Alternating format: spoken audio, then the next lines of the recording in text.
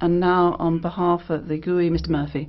Thank you, President. Uh, Taoiseach, given that the proclaimed stability, jobs and growth have clearly not materialised, could I perhaps suggest an alternative slogan for the presidency?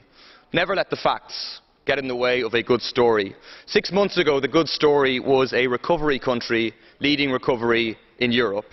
The unfortunate fact is Ireland's return to recession, leading, leading a deepening recession in Europe. Today, the good story is what is presented as a European budget stimulus. The stubborn fact is that this is the first austerity budget in the history of the European Union.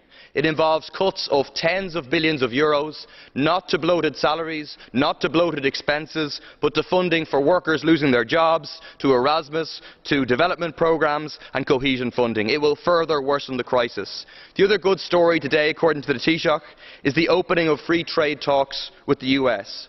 But the uncomfortable facts suggest that the so-called special relationship is built on extensive spying on European governments and millions of citizens. Would the Taoiseach agree that these talks at the very least should be suspended pending a full investigation? Would he also agree that Edward Snowden should be commended for his actions and he should be granted asylum in Ireland or another European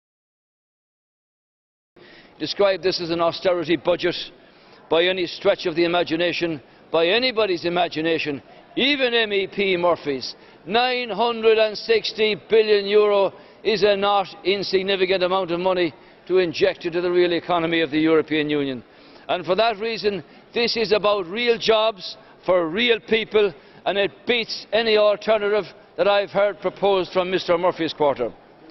I might say as well that the trade talks between the European Union and the US have not yet commenced. They are not due to commence until July as was agreed at the G8 summit in County Fermanagh in Ireland. And I do hope that under the current circumstances that the facts that are needed to be exposed here and presented are dealt with and that we can move on and focus on what needs to be done here in bringing to a conclusion in the next two years trade talks that can result in very significant growth in economies and very significant growth in job numbers both throughout Europe and